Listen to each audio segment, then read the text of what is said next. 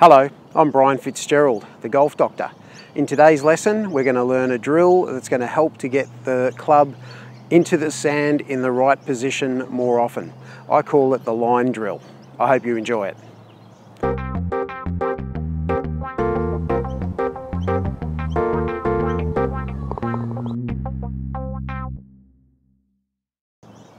Okay, first thing we have to do. I've got a ball in the bunker here I'm going to draw a line in the sand like so. We have to keep that line in the middle of our stance. Don't worry about opening or closing the stance, just keep it nice and square.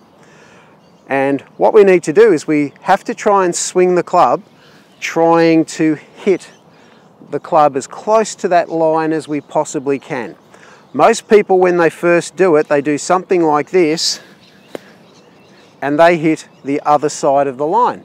That's because they've got their weight back. They feel like they've got their weight forward because my knees are forward.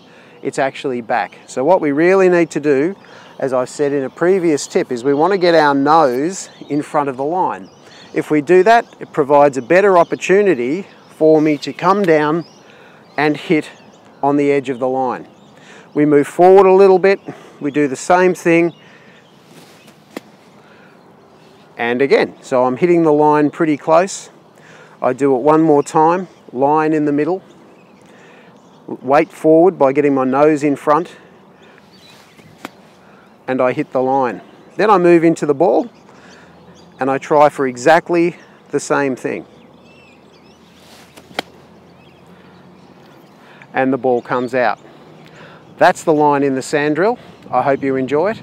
Thanks for letting me help improve the health of your golf. I'm Brian Fitzgerald, the Golf Doctor.